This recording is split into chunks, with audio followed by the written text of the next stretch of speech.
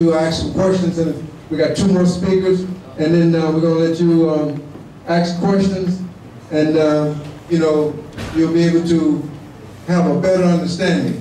Uh, we're blessed to have our brother Garadina here from the Garvey Town, one of the founders. Uh, him and his wife Ruth really working hard to make sure that the land is cleared and to make sure that things are just moving the way it should move. And I'm thankful that he's here. The schedule is really busy. Uh, I met him many years back. We live not far from each other, but uh, we're blessed to be working together. So let's give him a round of applause. Uh,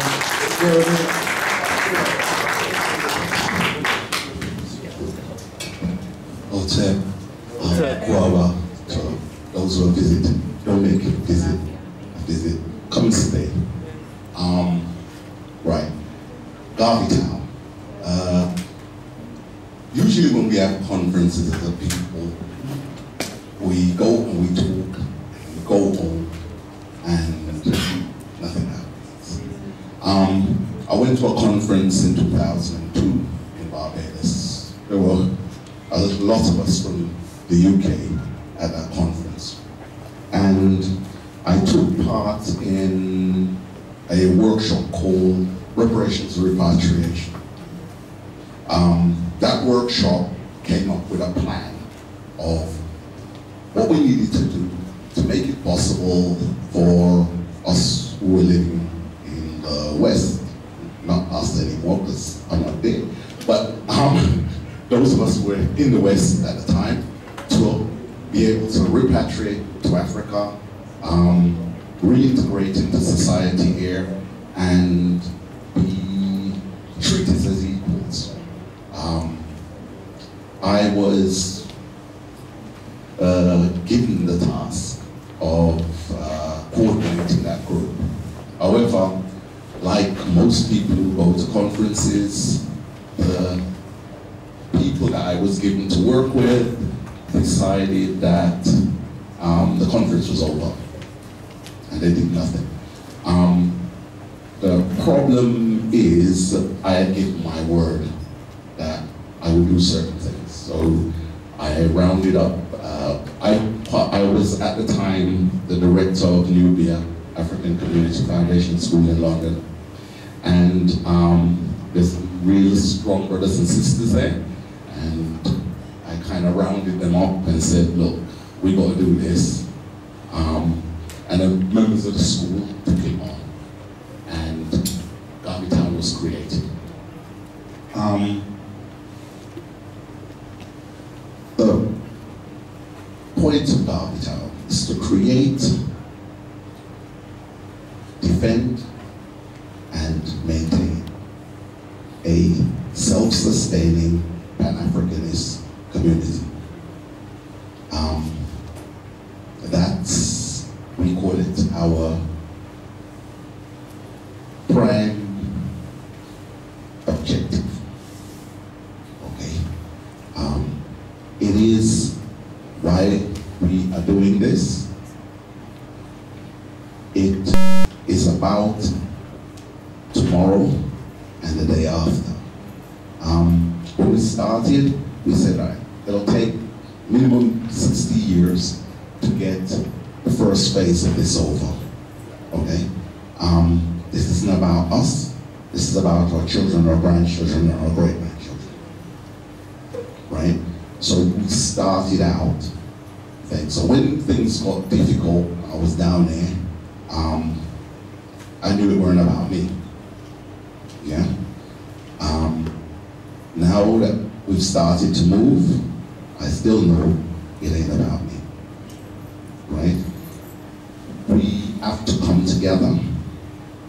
We have to work out how we are going to make this community function for us. It is us, about us, and nobody else. I don't want to talk about anybody else. Dr. Clark told me a long time ago um, that if I wanted to know how we solve our problems, I should close my eyes, imagine a world in which there was only African people. And when I imagine that, then the solutions to all the problems would have been solved. Because if you can imagine it, you can do it. Now, Garvey Town is about us doing what we need to do for ourselves. It's not about anybody else. It doesn't involve discussion of anybody else. It's not about hate of anybody. It's about love of us. Yeah? Our brothers and sisters uh, in the Western world suffering. And I know, I done 40 odd years of it, yeah? So I know, right? What we need to do is rescue as many of them as is possible. And to do that, we have to make it attractive. Yeah? Um, but I'm not talking about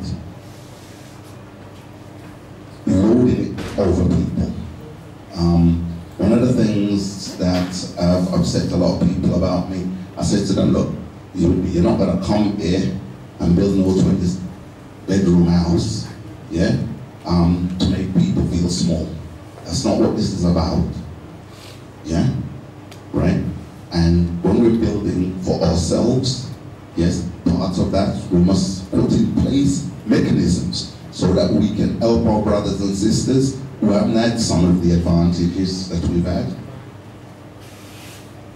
to make it possible for them to join. The community is not just, just going to be diaspora African, it's half diaspora Africans and half native Ghanaians.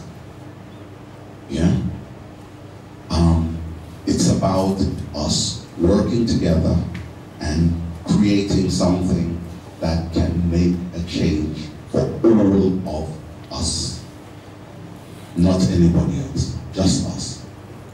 Um, anybody that wants further information, you can all, uh, well, Brother Quaker here, Brother Frank here, Ruth, where she moved to. She's hide this. Ah, she's over here at the back. We can answer any questions that you might have. I'm hoping that you'll still coming to visit us. Oh, absolutely. We're not missing for work, huh?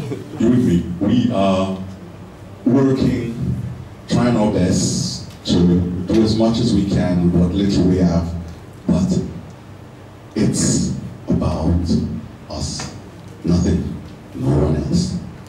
That's it.